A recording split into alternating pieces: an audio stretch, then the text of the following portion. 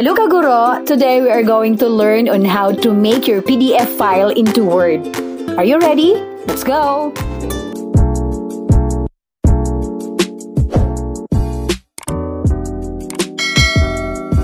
So let's start with opening our Microsoft Word in our laptop.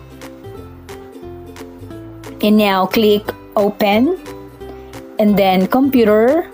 So let's choose and select our PDF file to be converted into Word. Okay, so I will choose, I have only one here. Okay, end of year test grade 2. Click open. Automatic, may magpa-pop up Word will now convert your PDF to Word. Okay, so click OK. So that's it. Now it's converting our file into word. Ang bilis. So, ganun lang po kadali. So, you have here your word that you can now edit. You can now change on whatever changes you want to make. Okay?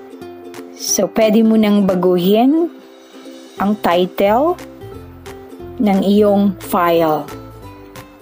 And then,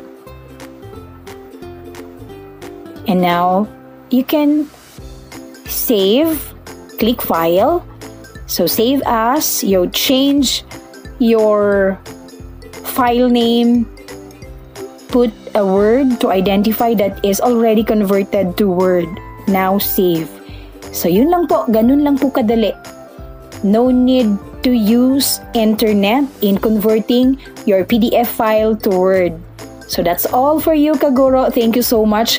Sana po nagustuhan natin. And please subscribe to our channel. Maraming salamat po.